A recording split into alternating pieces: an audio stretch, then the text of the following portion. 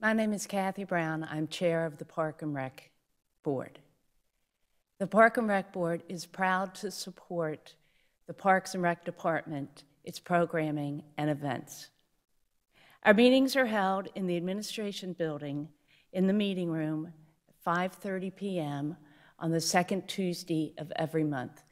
We invite all interested residents to attend our meetings and learn more about the Parks and Rec Department and what our board does. Park and Rec Board events for 2021. We supported the Park and Rec Department at the Performing Arts Series. We organized and established a beer garden for township-sponsored events. And we planned and held the first annual December Fest event. Our focus in 2021 was to support moving forward with the community building, continue to look at the needs of all parks, work with the Park and Rec Department on branding and standardizing park signs, and plan and hold special events to help in fundraising. In 2021, the Park and Rec Board members attended, helped, and enjoyed the Performing Arts Concert Series held on Wednesday evenings. We sold 50-50 raffle tickets, hot dogs, cokes and water, and basically answered questions as needed to support the event and those attending.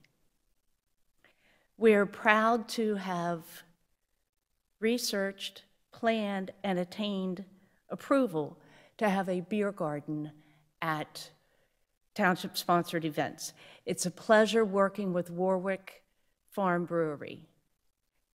The beer garden adds to the fun of each Wednesday and provides a means of raising funds for the Park and Rec Department. More and more of our residents are making Wednesday evenings a planned family event. Our board planned and organized and held our first annual December Fest event. We held an afternoon event for families to visit and take pictures with Santa participate in fun holiday outdoor games, holiday crafts and coloring, as well as enjoy hot chocolate and cookies. Music was provided by our local DJ and police officer, Jared Courts. It was a great day at the park with hundreds of residents enjoying the fun. We look forward to our second annual December Fest. Our goals for 2022 to keep the momentum going on the building of the community center and the location, relocation of the sports courts.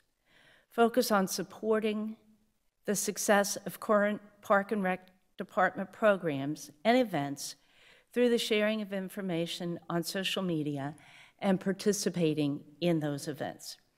We will actively participate in the planning and carrying out of fundraising events, including the annual golf outing. We will continue to look at the needs of all parks, but will focus on capital projects uh, at Sauerman Park.